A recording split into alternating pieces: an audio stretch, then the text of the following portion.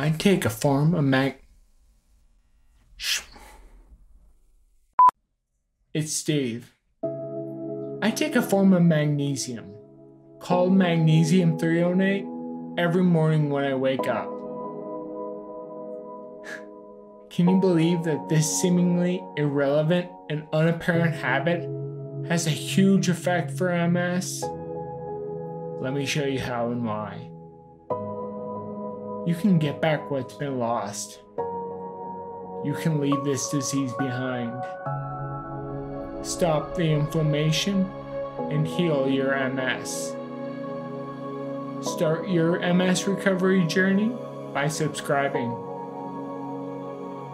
Unlike most forms of magnesium, which are not able to, magnesium threonate can pass through the blood brain barrier into the brain. Once there, it enhances something I believe is crucial for MS recovery.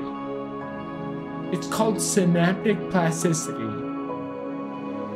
While not responsible for the birth and proliferation of new neurons in the brain, called neurogenesis, synaptic plasticity is achieved through enhancing communications between existing neurons.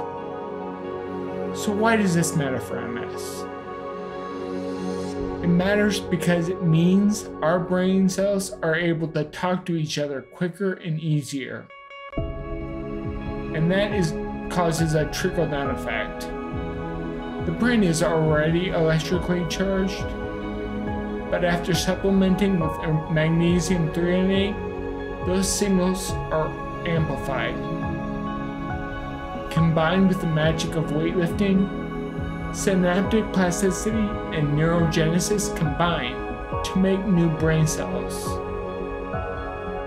This is because when you lift heavy weights repeatedly, your brain amplifies a certain signal in the brain called the WNT signaling pathway.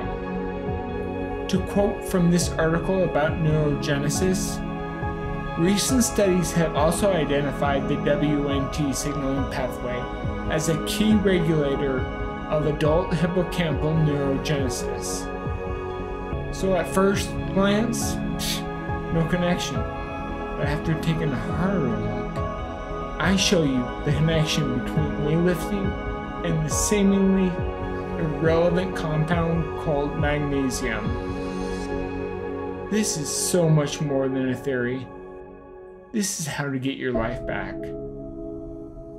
Thanks for watching.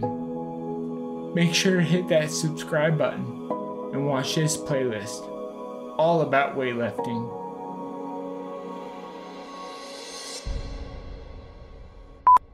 I found that it, that has a huge and, this is when you an unapparent